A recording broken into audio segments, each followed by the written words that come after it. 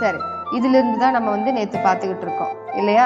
தொல்காப்பியருடைய காலத்துல எப்படி எழுத்து முறைகள் இருந்தது அதை தான் நம்ம பார்த்துக்கிட்டு இருக்கோம் அதாவது தொல்காப்பியருடைய காலத்தினுடைய எழுத்து வடிவம் பாருங்க. ஏ ஓ இந்த வடிவங்களை ஏ குறில்னு சொல்றோம் இது ஏ நெடில்னு சொல்றோம். ஆனா தொல்காப்பியர் காலத்துல இது எப்படி இருந்தது? ஏ எழுதி அதுக்கு மேல புள்ளி வச்சா அது குரில்னு அர்த்தம். பாருங்க. ஏ எழுதி இப்படி தலை மேல புள்ளி வச்சா அது குரில்னு அர்த்தம்.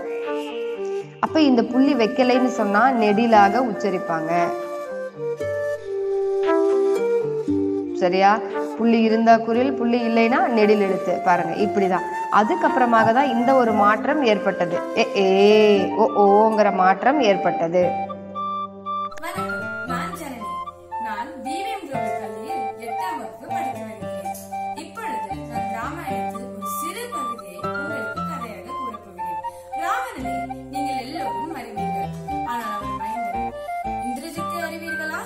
இந்திரஜித் பிரம்மனிடம் எவன் ஒருவன் பதினான்கு ஆண்டுகள் உண்ணாமல் உறங்காமல் எந்த பெண்ணையும் ஏறெடுத்து பார்க்காமல் இருக்கிறானோ அவன் கையால் மட்டுமே வணக்கம். என் பெயர் ஸ்ரீஜா. விடியலை நோக்கி என்ற தலைப்பில் நான் தங்களுடன் இன்று என்னுடைய கருத்துக்களை பகிர்ந்து கொள்ள ஆவலாக இருக்கிறேன்.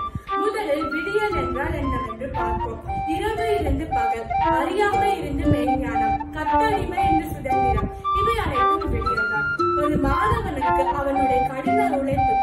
இணைந்த இடத்தை எட்டுவதற்கு அனைவருக்கும் வணக்கம். என் பெயர் ஸ்ரீராம்.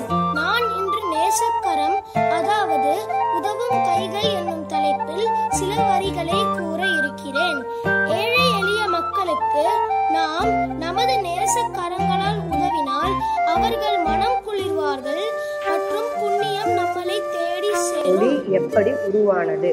எப்படி உருவாகி இருக்கும் நாமளே ஒரு இமேஜினேஷன் பண்ணி பார்த்தா நமக்கு தெரியும் ஆதி காலத்துல மனிதன் காடுகளில் வாழ்ந்தான். இது நம்மளுக்கு தெரியும் இல்லையா? அப்ப காட்டுல வாழ்ந்த மனிதன் தன்னுடைய கருத்துக்களை வெளிப்படுத்த என்ன பயன்படுத்தி இருப்பான் அவனே காட்டுக்குள்ள வாழ்ந்துட்டு இருக்கான். தன்னோட கருத்தை மத்தவங்களுக்கு சொல்லணும். அப்ப என்னெல்லாம் அவன் வந்து தன்னுடைய கருவியாக பயன்படுத்தி இருப்பான் பொதுவா ஆஹ்